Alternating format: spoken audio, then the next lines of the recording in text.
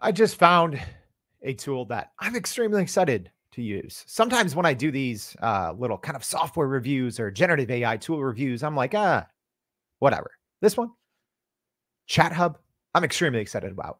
All right, let me tell you why. Let me first tell you a little bit more about what this is. Well, if you don't know, my name is Jordan Wilson. I'm the host of Everyday AI. We're a daily live stream podcast, free daily newsletter, helping everyday people learn and leverage AI. So if this is helpful, please make sure to subscribe to this channel. Number two, uh, go sign up for our free daily newsletter. It's really good. Uh, so let's jump in. This is our AI in five section where we kind of review uh, a, a, different tool in about five ish minutes. So uh, we're going to take a look at ChatHub, which I'm pretty excited about. So it allows you to use different large language models at the same time.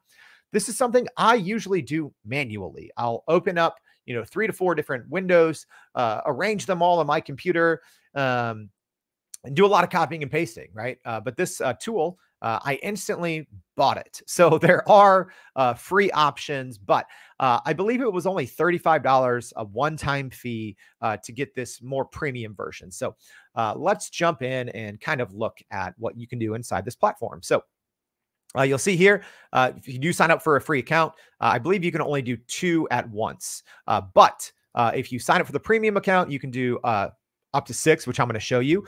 and web access, that's the biggest thing. Um, so let's go ahead and look at the settings, some different things that you can do. Uh, so in the settings, you can change your different startup page. You can toggle which models that you want to use. This is uh, super important. So by default, uh, there's quite a few popular ones uh, kind of um, already enabled, but everything from ChatGPT to Bing, Bard, uh, Anthropic's Claude, Llama 2 from Meta, Perplexity, which I love, uh, Falcon, Mistral. So a lot of different models. Um, and then within ChatGPT, uh, you can just use the default three, five, or four, or you can bring in your own API key. So in this test, um, I'm just doing the default models, which I'm not even sure how that works um, in terms of usage because I'm not having to put in my API key. Maybe that's where the uh, the one time cost goes. I'm not sure. Uh, but then there's options for Claude as well.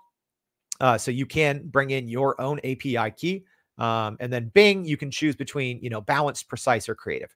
So uh, those are kind of my settings. So let's just go straight into um, and just see, okay, what, which are these actually connected to the internet? Um, you, you know, and are they accurate? Uh, at least when using them through ChatHub. That's the biggest thing because uh, when you're using these all on your own, there's tips and tricks and best practices for each large language model, but uh, can be a real time saver. So I'm going to say, what is today's date? All right, so let's see who's actually connected uh, not connected to the internet, but uh, it looks like uh, we're having an error here with Llama. So I'm going to go ahead and click this. Um, and I'm going to try it one more time.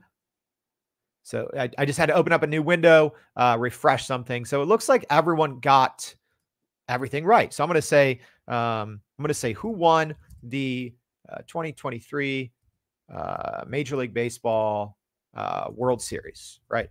So I'm going to see now. I had to enable something on Llama. So let's see if Llama actually is is connected yet uh, to real time. So it's not. So that functionality may not be available. Uh, it says the World Series hasn't occurred yet. So let's see if everyone else did okay. So uh, ChatGPT with the web access enabled. Texas Rangers. Let's see here. Texas Rangers for Claude.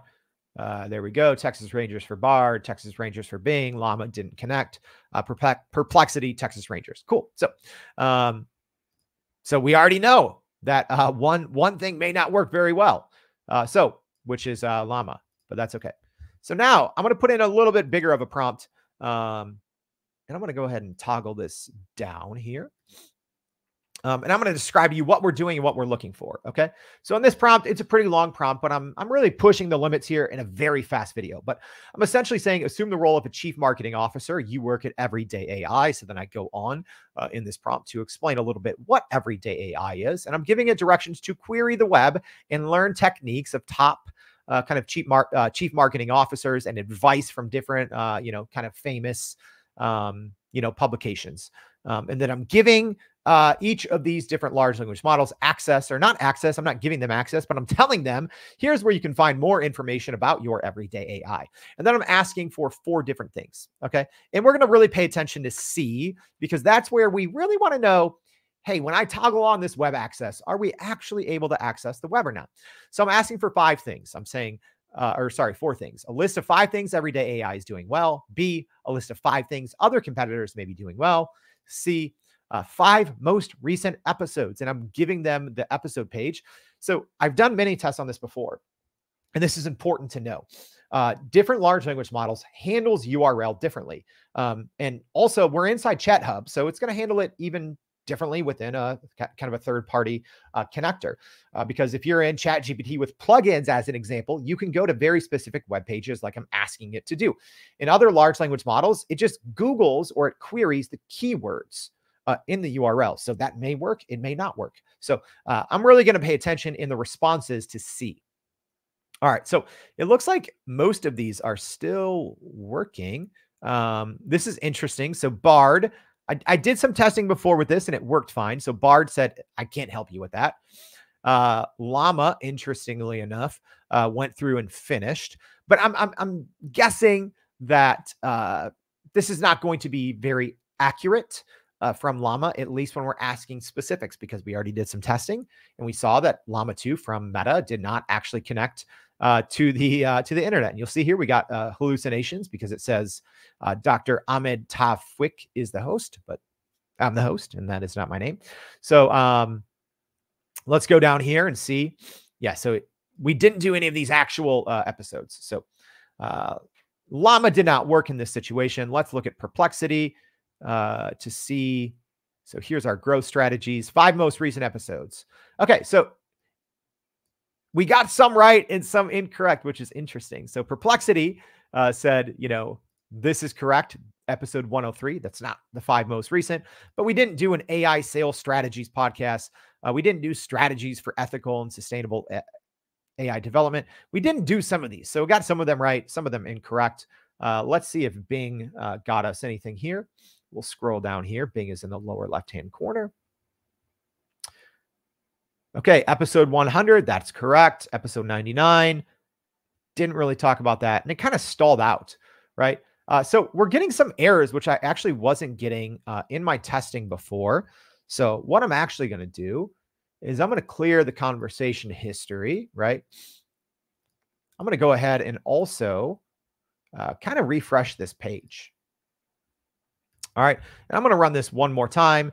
Uh, we're just going to look straight at the results and we'll see if the others did better. So Llama, again, Llama's fast, but not correct.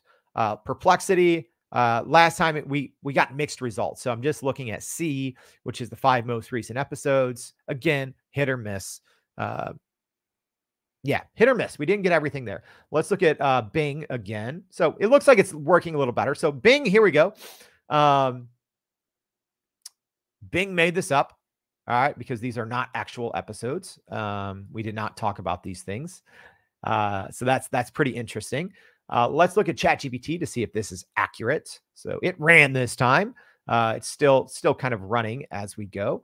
Uh, so let's look at Claude. Let's see if Claude was uh, able to specific uh, to accurately uh, find these episodes. It did not. Uh, Bard uh, refused to go, which is interesting because I did one test beforehand and it actually worked. Um, so let's look at ChatGPT. It's still running. Interesting. So it says, as of my last update in April 2023, I cannot access the current web.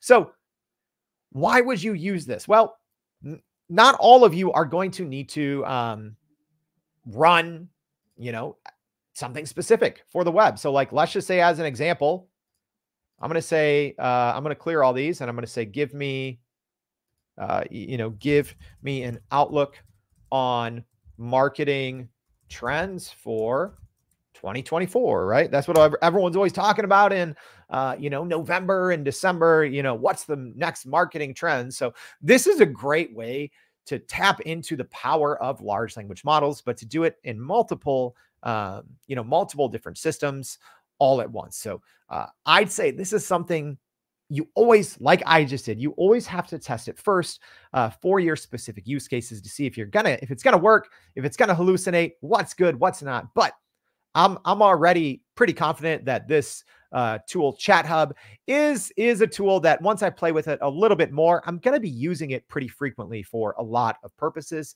just to get more out in a shorter period of time. All right.